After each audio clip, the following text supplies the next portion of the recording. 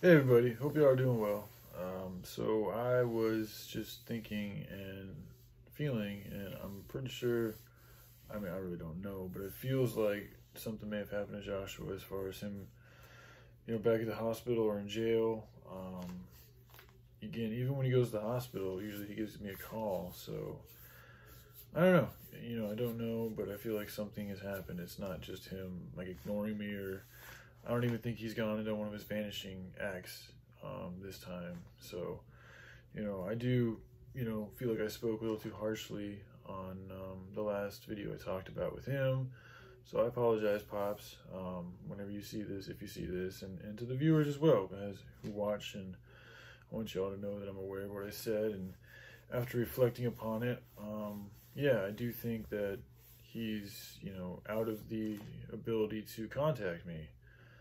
So, um, and I could be wrong about that too, but that's just how I feel. And, you know, I hope he's doing all right. And, you know, shit. So, all right. I love you guys. Have a good day. Bye.